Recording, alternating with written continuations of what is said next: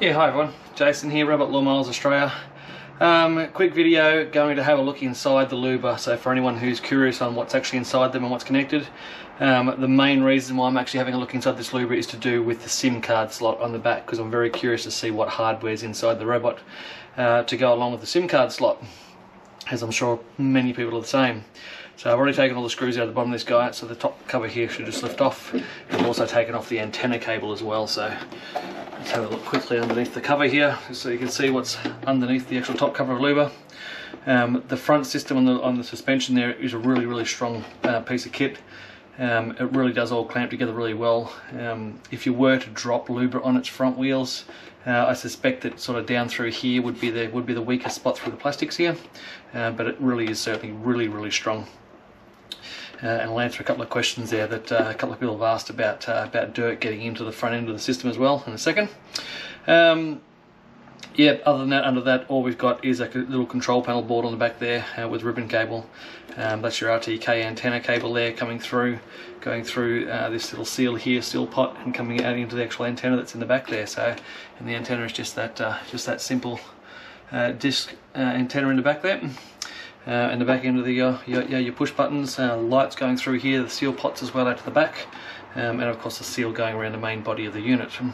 So I'll touch on that one just quickly because there's been quite a lot of uh, questions about the seals um, going around the front. Let's put that to the side there. There's been a lot of questions that people have asked about when the when the suspension goes up and down around the seal around the front here, um, how it sort of allows a little bit of a gap there. This whole front system in the front here and also in the back as well, they're completely op uh, open areas. They're not sealed off to the outside, or not to the IP uh, X5 or X6, whatever it's supposed to be, or 6X. Um, so any dirt and dust that does get inside this assembly here I mean, it's probably not ideal to be in there, um, but it's not really going to hurt anything. The only thing that's inside there is actually the lift sensor switch, which is on the side here down the bottom here. So there is a lift sensor in the back there. So if that was to completely gum up with uh, with grass and everything else, well then I suspect that would probably cause some kind of issue. But mostly having a little bit of dust and dirt and grass and things getting inside this front section here is not really going to be a problem. Um, and exactly the same for the back section. So in the back section, um, there's nothing in there at all. In fact, all you've got is the cable, the, the axle for the back wheels, um, and the cabling coming through for the uh, for the control panel at the back. Okay.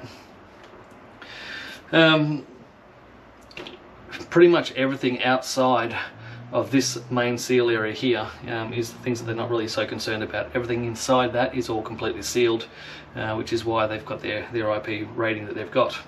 Um, and obviously they've recent times they've sort of indicated not to not to high pressure wash uh, under the blade system because it can come up through the seals around the actual the um, the cutting height adjustment motors. So, like I mentioned before, um, the main reason why I've actually opened this robot up was to have a look at the SIM card slot. Now, on the back, on the back of the Luba at the moment, there is your USB port and a SIM slot, which I was very, very curious about. So I've opened up this little section here. Um, I can't open any more than this sort of thing because I don't, don't, want to break the seal around the side here. But I was able to take a little photo in there and the SIM card uh, adapter there has got no plug in it. So yes, there's a SIM card holder in there, but there is nothing feeding off the SIM card slot back into the into the main board um, and there's also no antenna for 4G or anything else like that so the hardware for any expected hopefully in the future 4G connection um, or, or, LTE connection um, doesn't look like it's in Luba at this point in time it's just the slot in the side there um, everything else in the robot it's all very compact and really well put together to our truth out of all the robots we pulled apart. Um, these guys really are quite good. Um, they're really, really solid machine. Um, you got your battery pack inside here, uh, which I haven't opened up. It looks awfully small to be a 10 amp battery, but um, obviously it's, uh, I'm not sure what, I actually don't know what voltage it actually runs on to tell you the truth. It might, it might only be a 21 volt machine. Um, all the cabling is very, very neat. All the plugs are really well put together. There's no real issues with anything um, at all with the robot and how it's actually built. They've done a really good job. Uh, and they've also sort of glued all the plugs down as well. So a lot of the plugs uh, in most robots aren't glued uh, or here. There's just, just temporarily glued so they can don't so they don't vibrate loose. Um, and then essentially we've got uh, like the E22 chip here um, or processor here is going to be your um, 900 megahertz uh, antenna. So there's your antenna there. That's your 900 megahertz back to the RTK reference station, um, and then you've got the um, your little processor there for the Wi-Fi. It's your Wi-Fi chip and everything else there to go through to the little Wi-Fi antenna that's there. So everything's really compact. The main board on top there um, is pretty simple. Underneath that is obviously the um, is, is our motor driver board. Uh, so for, for, driving all the motors, everything else, again, it's all compact. It's all put together really, really well. Um, I'm, you know, really am quite impressed by how these guys have actually put the robot together. It's, um, they've really done a really good job. But like I say, the uh, the LTE uh, connection or the SIM card slot in the back there, unfortunately, does not mean that there's any hardware in here to actually have an LTE LTE uh, connection in in the future anytime soon. So hopefully later on there might be an expansion kit that they might be able to put in these guys. Um, I'm not sure. They're obviously thinking about something because they've put the slot in the back. Uh, so there's obviously there's there's room for them to actually to provide hardware to make the other 4G connection actually work.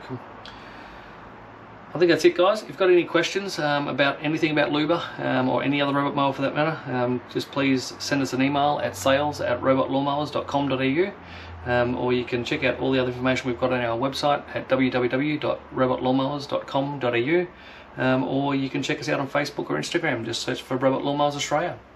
Thanks for watching.